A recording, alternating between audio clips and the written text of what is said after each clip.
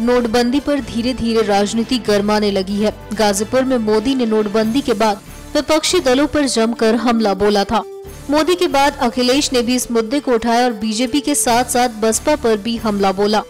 BSP supremo Mayawati पर तंज कसते हुए अखिलेश ने कहा पैसे की माला को लेकर हमारी बुआ तकलीफ़ में है। ये बात सबको और मैं समझता हूँ पूरा देश ये जान गया है। केवल हम राजनीतिक दल इस बात को कहें कि ये सरकार का फैसला ठीक नहीं था?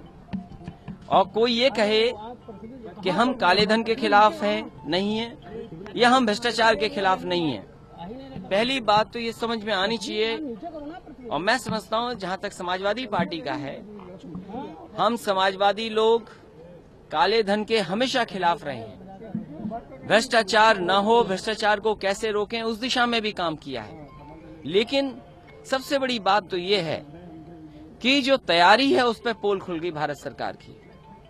जो समझते थे कि ये समझदार सरकार है जिसकी तैयारी पूरी होगी लोगों को असुविधा नहीं हो पाएगी लोगों की परेशानी नहीं आएगी याद रखना जो सरकारें जनता को दुख देती हैं जनता उस सरकार को हटा देती है।